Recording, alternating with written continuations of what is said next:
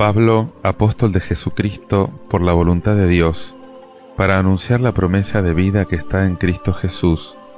Saluda a Timoteo, su hijo muy querido. Te deseo la gracia, la misericordia y la paz que proceden de Dios Padre y de nuestro Señor Jesucristo. Doy gracias a Dios, a quien sirvo con una conciencia pura, al igual que mis antepasados, recordándote constantemente de día y de noche en mis oraciones por eso, te recomiendo que reavives el don de Dios que has recibido por la imposición de mis manos, porque el espíritu que Dios nos ha dado no es un espíritu de temor, sino de fortaleza, de amor y de sobriedad. No te avergüences del testimonio de nuestro Señor, ni tampoco de mí, que soy su prisionero. Al contrario, comparte conmigo los sufrimientos que es necesario padecer por el Evangelio, animado con la fortaleza de Dios. Él nos salvó y nos eligió con su santo llamado, no por nuestras obras, sino por su propia iniciativa y por la gracia, esa gracia que nos concedió en Cristo Jesús desde toda la eternidad y que ahora se ha revelado en la manifestación de nuestro Salvador Jesucristo porque Él destruyó la muerte e hizo brillar la vida incorruptible mediante la buena noticia, de la cual he sido constituido heraldo, apóstol y maestro. Por eso soporto esta prueba, pero no me avergüenzo, porque sé en quién he puesto mi confianza, y estoy convencido de que Él es capaz de conservar hasta aquel día el bien que me ha encomendado.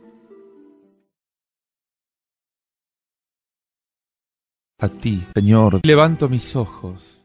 A ti levanto mis ojos, a ti que habitas en el cielo. Como están los ojos de los esclavos, fijos en la mano de sus señores. A ti, Señor, levanto mis ojos. Como están los ojos de la esclava, fijos en las manos de su señora, así están nuestros ojos en el Señor Dios nuestro esperando su misericordia. A ti, Señor, levanto mis ojos.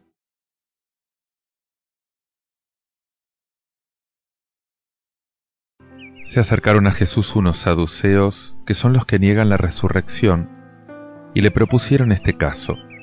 Maestro, Moisés nos ha ordenado lo siguiente. Si alguien está casado y muere sin tener hijos, que su hermano, para darle descendencia, se case con la viuda. Ahora bien, había siete hermanos. El primero se casó y murió sin tener hijos. El segundo se casó con la viuda y también murió sin tener hijos. Lo mismo ocurrió con el tercero, y así ninguno de los siete dejó descendencia. Después de todos ellos murió la mujer. Cuando resuciten los muertos, ¿de quién será esposa? Ya que los siete la tuvieron por mujer. Y Jesús les dijo, ¿No será que ustedes están equivocados por no comprender las escrituras ni el poder de Dios? Cuando resuciten los muertos, ni los hombres ni las mujeres se casarán, sino que serán como ángeles en el cielo. Y con respecto a la resurrección de los muertos, ¿no han leído en el libro de Moisés, en el pasaje de la zarza, lo que Dios le dijo? Yo soy el Dios de Abraham, el Dios de Isaac el Dios de Jacob, Él no es un Dios de muertos, sino de vivientes. Ustedes están en un grave error.